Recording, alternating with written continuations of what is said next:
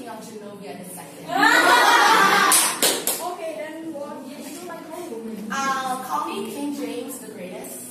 Okay, King David Raiders, um, we are already to order.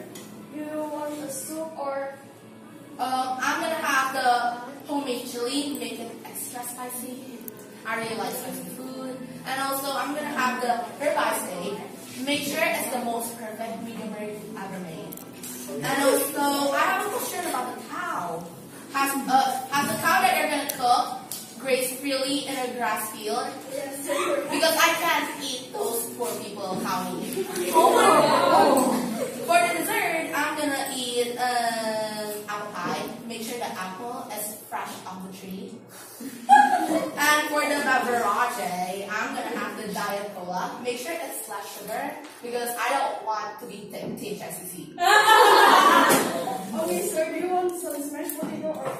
I'm gonna have the mashed potato and make sure it's organic and vegan because I can't eat non-organic food because it's gonna kill me.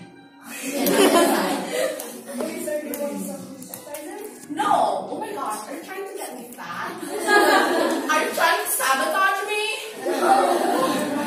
okay, I'm not gonna have any appetizer. Okay, sir, your order you and five minutes. Wait, do not though. It's not gonna be five minutes because I'm gonna make you make it in two minutes. I don't have all the time in the world, sister. Chop! And get to cooking. Thank you for your service. Okay, sir.